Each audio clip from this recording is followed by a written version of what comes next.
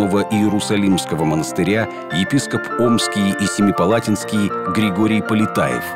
Церковным историком стал выпускник Петр Знаменский, чьи труды до сих пор используют студенты духовных учебных заведений – Немалый вклад в развитие духовных наук внесли выпускники. Профессор Санкт-Петербургской духовной академии, редактор журнала «Церковный вестник» Александр Катанский, философ, логик и психолог, профессор Казанской духовной академии Вениамин Снегирев и его брат, духовный писатель Александр Снегирев.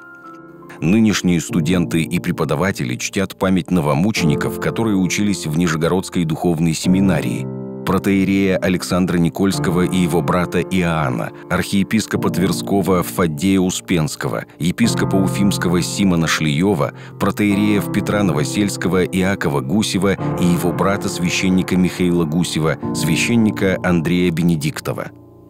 Жизнь старейшей семинарии прервали революционные события 1917 года – семинарские сооружения, все ценности, богатейшая библиотека и археологический музей были отобраны советской властью. Семинарский храм в честь преподобного Иоанна Дамаскина разрушили до основания. Возродилась духовная школа только в 90-х годах 20-го столетия. В 1997 году состоялся первый выпуск – всего с начала Возрождения, с 1993 года, Нижегородскую семинарию закончили около тысячи выпускников очного и заочного отделения. Поступать учиться в Нижегородскую семинарию приезжают абитуриенты из разных регионов страны. Профессорско-преподавательская корпорация семинарии состоит из 34 человек – в их числе 17 священнослужителей, преподавателей нижегородских и московских вузов.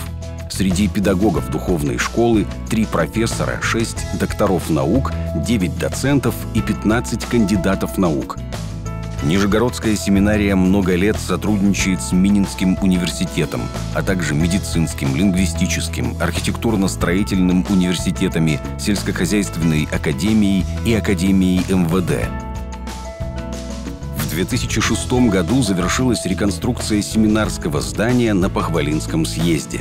На территории Благовещенского монастыря был открыт после восстановления храм святителя Алексея Московского, который стал семинарским.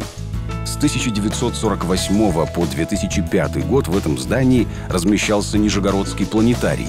Были снесены малые главы, понижен центральный световой барабан – Осенью 2007 года реставрационные работы были полностью завершены. Внутри Алексеевского храма восстановлены все фрески, написаны иконы, установлен фаянсовый иконостас, подведено освещение, позолочены купола, заменена кровля, расписаны фронтоны.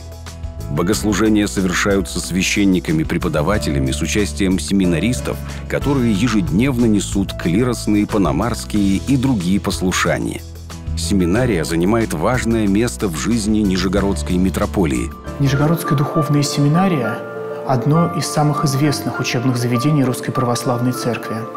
В настоящее время семинария дает своим студентам высококачественное гуманитарное образование в сфере религиоведения, церковной истории, филологических дисциплин и, конечно, в первую очередь пасторских дисциплин, которые необходимы выпускникам нашей духовной школы – для будущего священнослужения. Все это направлено на то, чтобы дать студентам не только хорошее современное образование, но и воспитание в духовных традициях Русской Православной Церкви. Это, конечно, не только э, само по себе образование, но и определенный образ жизни, уклад, церковный ритм. Помимо учебного процесса мы еще и спортом занимались, посещали разные экскурсии, были паломнические поездки. Это было очень здорово, живо, ярко и лучшее время в нашей жизни. Перед нами теперь открылись просторы новые. В семинарии вот на протяжении двух лет мы изучали дисциплины, связанные именно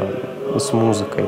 Было сольфеджио, изучали нотную грамоту. На клиросе должны, на мой взгляд, работать верующие люди, которые могут не только чисто механически исполнять вот эти церковные произведения, а вкладывать в них свою душу. Каждое церковное песнопение требует именно отдачи от человека своей собственной души. Нижегородская духовная семинария является научным центром, а, где проводятся богословские конференции различного уровня, где издается множество книг богословского содержания, пишутся статьи, ведутся исследования исторического, богословского и философского характера. Нижегородскую духовную семинарию посещают различные ученые и из Москвы, других духовных центров Русской Православной Церкви.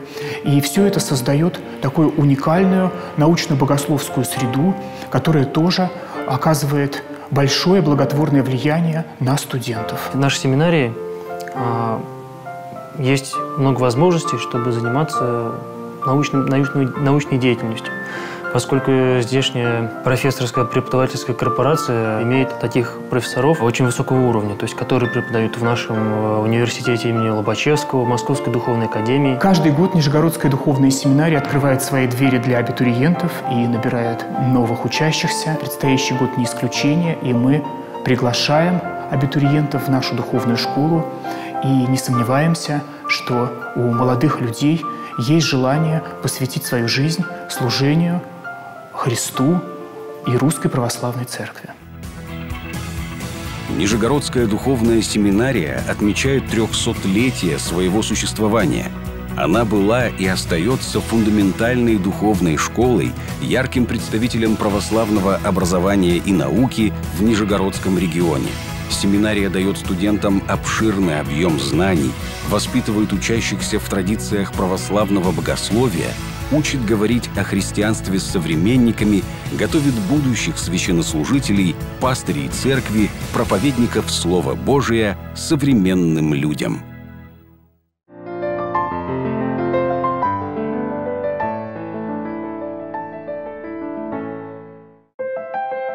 В храме благоприятную для богослужения обстановку создает все – молитва, церковное пение, иконы, росписи и даже цветы – их живые краски, формы и ароматы. Храмовая флористика – тонкая наука. Конечно, можно просто ставить цветы в вазы, но композиция из растений создает иной, более точный колорит, соответствующий необходимому дню и богослужению. В воскресной школе при Староярмарочном соборе в Нижнем Новгороде прошел семинар храмовой флористики. Те, кто пытался самостоятельно изучать это дело, понимают ценность уроков профессионалов – Школа храмовой флористики, она уже давно существует в Москве при Богоявленском соборе. Захотелось именно практики такой живой практики с педагогами, потому что я уже давно здесь украшаю в соборе, но у меня просто было как бы все по наитию. Да, я украшала сначала с профессиональными флористами, светскими, вот, но все равно какие-то э, именно детали и э, техника, она отработана не была, как, вот на очном обучении. Можно, конечно, учиться по видео, но мне тяжелее по видео учиться. Ну, чтобы тебе именно вот подошли и сказали, вот так, ты так, и руку направили, да, это очень важно. Участники матушки нижегородские, потом с области приехали. Теория на таких семинарах сразу переплетается с практикой. Здесь изучают колористику, группировку цветов и зелени, стилистику и многое другое. За эти пять дней мы должны научить их базе и рассказать про нюансы. Плюс всякие разные пасхальные объекты, да, там и свечи, и икона, и иконостас. Ну, вот все-все-все, что можно будет украсить, да, мы это расскажем, покажем на примере вот храма. То есть мы не просто вот здесь, да, какие-то вещи мы сделаем здесь, потом пойдем в храм, покажем, как это крепится. Храмовая флористика, она строится на обычной флористике, но в ней есть свои нюансы, да, то есть есть свои каноны, поскольку мы храмовые флористы, мы делаем все по благословению настоятеля того храма, где мы украшаем. Мы должны знать традиции храма, да, которые мы будем украшать, а, должны уточнить у настоятеля, да, что, вот, что хочет он. Растительный материал имеет свои особенности, о которых большинство из нас и не подозревает. Чтобы просто грамотно обрезать стебель цветка, нужно знать правила. Самую элементарную композицию удачно не составить без опыта – его и набирают на семинарах. Каждому празднику у нас есть э, свой цвет. Да? Богородичный праздник у нас э, голубой. Да? И все э, чины священнослужители, они все в этот день хоть в голубом, бирюзовом цвете, там темно-синим он может быть. Даже на ту же Пасху. Одни хотят чисто в красном цвете оформлять, другие любят, чтобы цвета были смешанные. Там третьим там в бело-красном. Как бы, вот это все нужно спрашивать. Не сам флорист должен это решить, в каком цвете он хочет. Да, потому что ну, в этот день спектр большой очень, а именно он должен спросить у настоятеля, в каком цвете все это должно ну, украшение быть. В заключение семинара участники сделали общую творческую работу и получили удостоверение. Я онлайн училась на этих курсах, э, рождественский закончила курс и узнала, что приезжают к нам наши педагоги и будут проводить очно занятия. Поэтому я очень рада была снова с ними здесь встретиться и уже практически обучиться вот этой храмовой флористике. Очень большой объем, так как за пять дней нам было очень много дано информации. Особенности композиции, особенности украшения храмовой флористики именно в дни церковных праздников, особенности цветов, как их правильно располагать, какие их свойства, как сделать так, чтобы они дольше сохраняли свой вид. Во всем нужна мера. Сделать так, чтобы это было эстетично и соответствовало именно этому дню. Надеемся, что теперь по всем правилам, по всем канонам мы будем украшать наш храм. Не зря сказано, что цветы – это остатки рая на земле. Очень жалко, что сегодня последний день. Хотелось бы учиться. И такая группа у нас подобралась. Доброжелательные, все такие активные девочки. Прям, прям очень жалко расставаться. Все участники этой небольшой учебы были благодарны своим педагогам и готовы с новым вдохновением и, конечно, обновленными знаниями и умениями заниматься украшением храмов.